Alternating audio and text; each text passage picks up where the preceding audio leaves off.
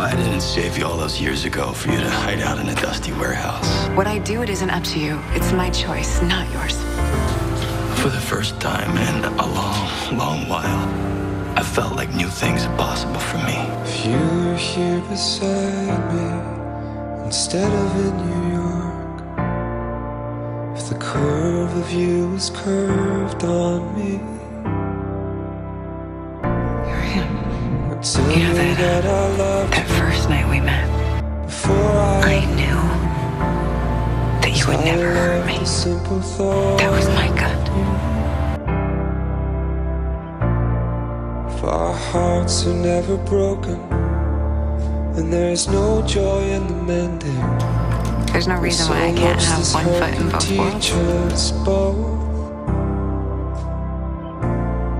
As much as I keep saying stay away, I keep showing up too.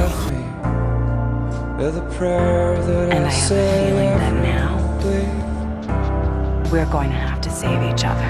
Come on, You saved my come life. on, come here, come here,